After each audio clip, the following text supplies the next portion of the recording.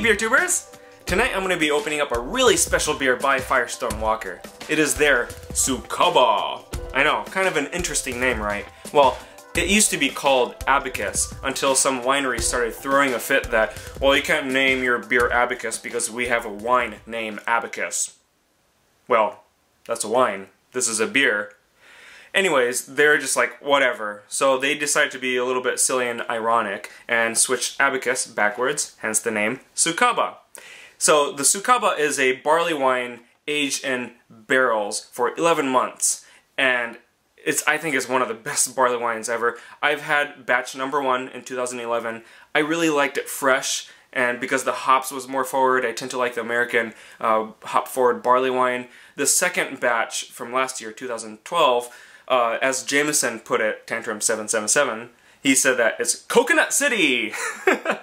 Which it was, it was very coconut forward and it was very good. My personal preference I tend to like the fresh batch number one. So we're gonna see how batch number three is here in 2013. I'm really looking forward to it, so let me go ahead and open it up and I'll show you guys how it is. Alright, so out of the box, here it is, and it's kind of cool that they have this fancy uh, seal around it. Uh, it's much easier than opening or uh, uh cutting up a uh, candle wax one. So anyways, today I think I'm going to be using the brewery's tulip glass. I really like this glass. Now, this is a 12.5% barley wine. So it's BAB. It's a big ass beer. Uh, it is also blended too, so it's going to be some, and I mean, barrel aged, so it's going to have some many, many interesting notes to this.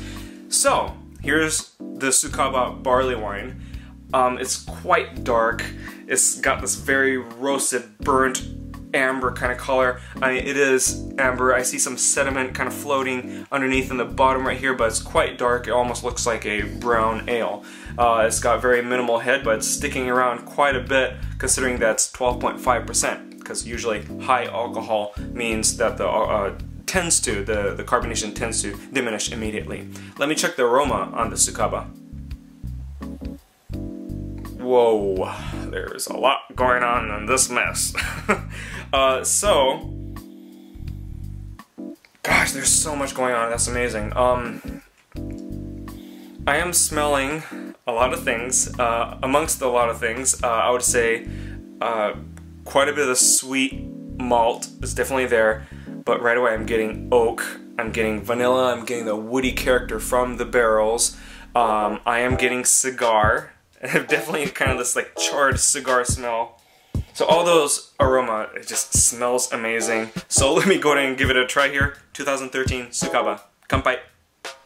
First of all, let me just start off by saying, out of the multitudes of flavor, the abundance of flavors that you get from this beer, it's really well balanced. I mean, when you have a lot of tasting notes, a lot of flavor going on, um, it could be a mess. It could be a hot mess, right?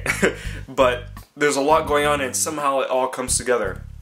Now, I know that that's something I should maybe say at the end of my review, but I could honestly tell you that's probably one thing that really stands out to me right now. Right, so right up front, you get quite a bit of sweetness. The hops are pretty up front forward, which as you remember, I like batch number one. I really like the hop character in this one. Um, but then right away the carbonation kind of kicks in and then just starts uh, start tossing all this flavor back and forth because the with the carbonation it cleanses your palate right but so while the the the, the carbonation is kind of like juggling all this flavor on your tongue he's like oh try this try charcoal uh, cigars and oak and vanilla and and malty raisin stuff, you know, all this flavor. Like it's, it's like whoa, whoa, that's what's going on. That's that's why I told you it's taking me a while to kind of process the flavor of this beer, and then the vanilla just starts coating your tongue. I mean, it's it's, it's just like they're just pouring vanilla oak extract on your tongue, I, but in a really good way. It's like a really thin lacing, you know. And it being 12.5%, I don't really taste it or feel it at all which is kind of scary and kind of awesome. Uh, the Sucaba by Firestone Walker. This year's, I'm really digging it. I think it's a great combination. so far I'm gathering of batch number one, the Hop Forward, and batch number two, Coconut City, is got quite a bit of both of those characters in this one. Um, so, my final rating of this beer, this is an easy A+. plus.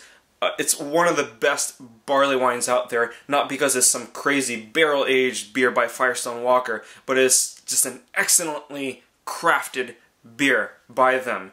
It's amazing just how many flavors, and if you don't remember what the flavors are, just rewind back in my video.